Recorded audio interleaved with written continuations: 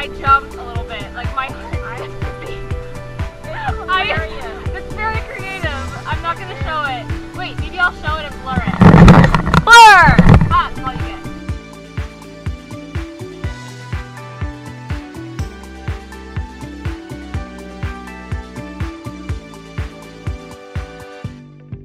So, I realized that I didn't really make an ending to this video. I didn't really film much at all, so I don't know how this video is going to turn out, how it did turn out since it will have been edited now.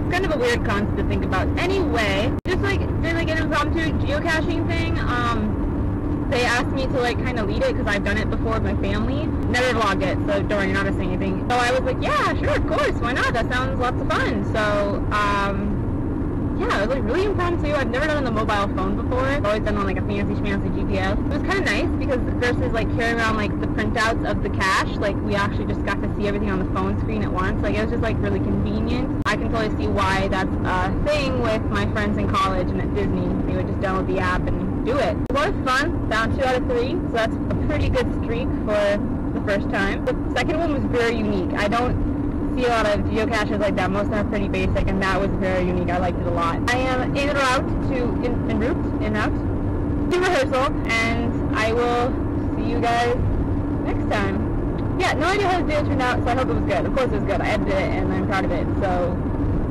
I don't know. It's probably not very good. I hope you enjoyed it.